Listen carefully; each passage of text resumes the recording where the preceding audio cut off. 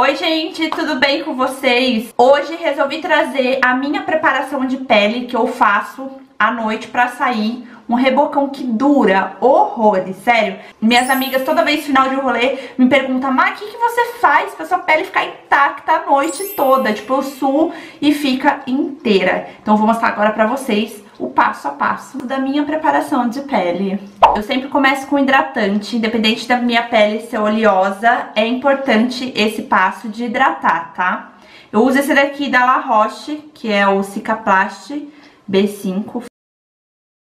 E eu passo nas regiões onde é mais ressecado. Aqui, ó, gente, pra base ficar com um aspecto bacana. E é isso que faz o diferencial. É uma pele bem preparada antes de receber a make, porque vai ser isso que vai fazer ela durar e ficar intacta por mais tempo. Minha pele tá muito ressecada. Vou passar até no cantinho aqui, porque até no cantinho dos olhos minha pele anda ressecada. Aí eu gosto, sempre, cada produto que eu passo, eu, eu deixo agir por dois minutinhos, só pra pele absorver bem o produto e receber o próximo, tá? Esse daqui é muito bom, esse da La Roche, porque ele é bem sequinho. Quem tem a pele oleosa, é uma dica boa, porque ele não fica muito grudento. Você passa, ele fica bem sequinho. A pele absorve rápido. Eu gosto bastante. Eu já dei essa dica lá no meu Instagram. Se você não me segue, vai lá me seguir, tá? Porque sempre eu tô por lá, conversando e dando dicas legais pra vocês. Já esperei dois minutinhos minha pele secar. Agora eu vou para a parte que eu mais gosto, que é esse produtinho aqui da Biang. O meu é o Glow Primer, tá? E eu gosto de usar ele porque ele tem vários aspectos positivos, ajuda na pele, é anti-age. Esse daqui é incrível, eu vi a indicação da Mari da Jutedesco. O site tá com várias promoções legais e eu peguei um, por um preço super bacana. Se você não quer gastar muito, tá? É, eu tenho essa alternativa aqui, que é o BT Detox Elixir Facial também, da Brutavares. Esse daqui é muito bom. Ele serve como um primer também. Então eu vou usar esse daqui. Como eu gosto de deixar a minha pele com um aspecto glow, brilhosa, eu vou usar esse daqui. Se você não gosta e quer economizar, você pode usar esse daqui, tá? Que esse já é sem brilho e mais barato, que é o da Bruna Tavares. Esse daqui da, da Biang, ele é meio branquinho, tá vendo? Ai, gente, eu me sinto, sempre quis. Eu via elas usando, eu falava, não, eu preciso. E aí, eles falam sempre pra espalhar, massageando. E esse daqui, deixar agir por 5 minutinhos, tá? E ele tem um efeito, olha o brilho, olha o viço. Ele tem um efeito, gente, de lifting.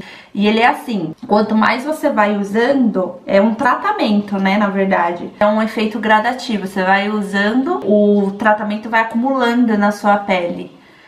Vai melhorando muito o aspecto. Então sempre eu gosto de massagear quando eu faço a aplicação.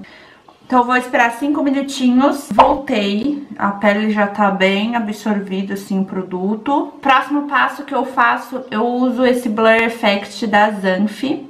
Na época da adolescência eu tinha muitas espinhas, agora nem tanto. Aí fica a marca de poros, né?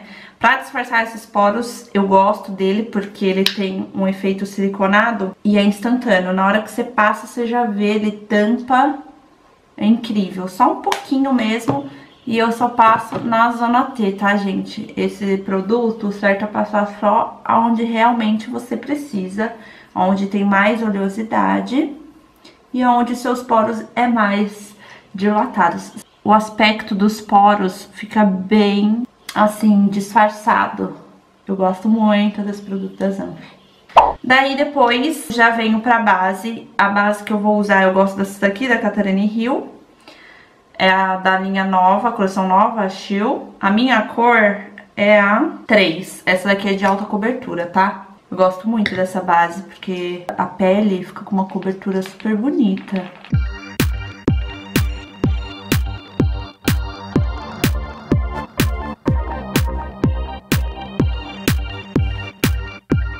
Terminei de passar a base aqui no rosto todo, estou parecendo um fantasma, né?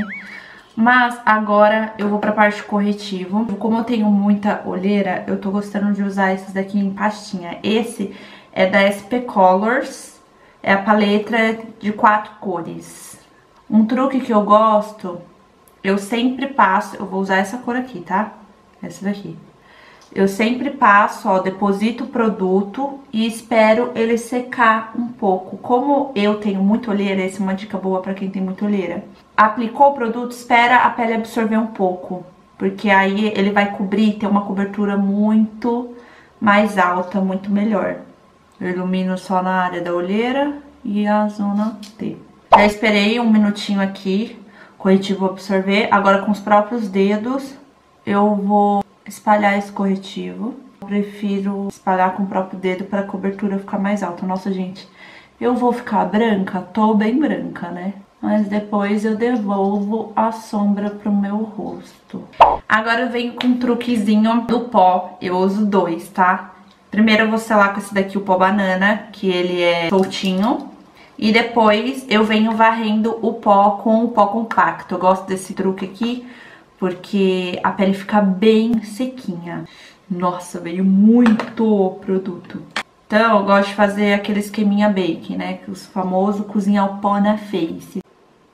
Eu passo bastante, gente, em excesso mesmo, sem dó, sem medo aqui na região da olheira, porque se você não sela, o corretivo escorre, o corretivo sai. É quando acontece da gente deixar, por exemplo, vai cumprimentar alguém e mancha a roupa da pessoa. Isso é sinal de que você não tá selando bem a sua pele.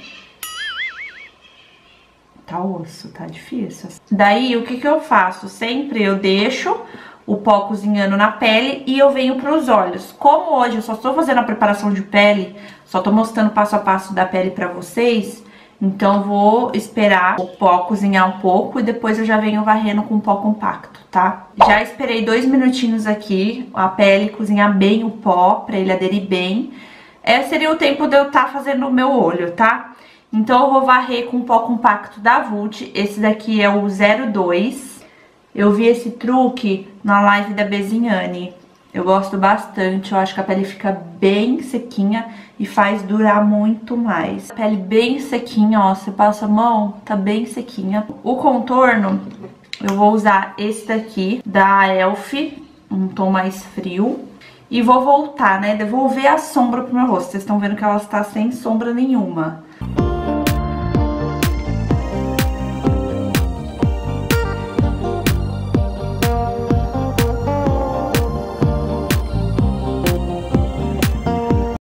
Esfumar com o pincel gordinho, esse daqui da Macrylan.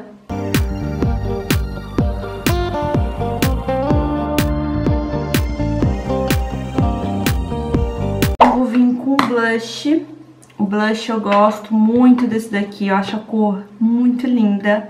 Da Toque de Natureza, tô viciada nele. Ele é o Onyx 02 Grenar. Ele é um rosé meio queimado, ele lembra um da MAC que eu tenho.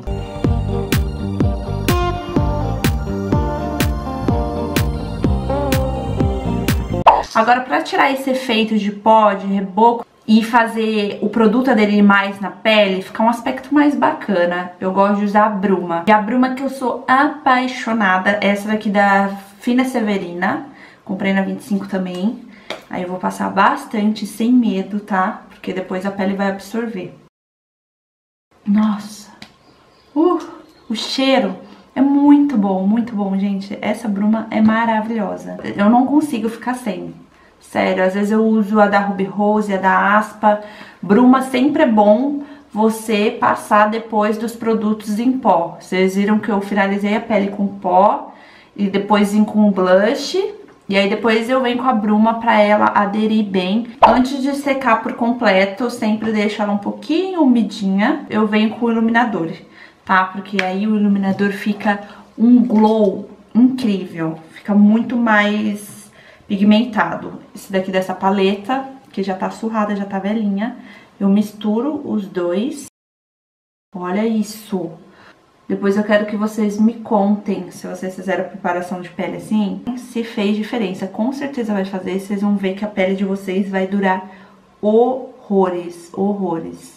Antes de finalizar aqui com vocês, eu já passei um balmezinho na boca, eu usei esse daqui da Kiss New York, que eu gosto. Tem um cheirinho super gostoso, só pra não ficar com a cara muito sem make. Eu vou parar por aqui porque o intuito só é realmente mostrar a minha preparação de pele que eu tô fazendo e estou amando. Espero muito que vocês tenham gostado. Vou deixar todos os produtos que eu usei aqui no box de informações aqui embaixo descrito pra vocês. Caso vocês tenham alguma dúvida, querem conversar comigo, pode mandar direct lá no Instagram que eu respondo vocês, tá bom? E não esqueça de deixar um like e se inscrever aqui no canal. Um super beijo e até o próximo vídeo. Tchau!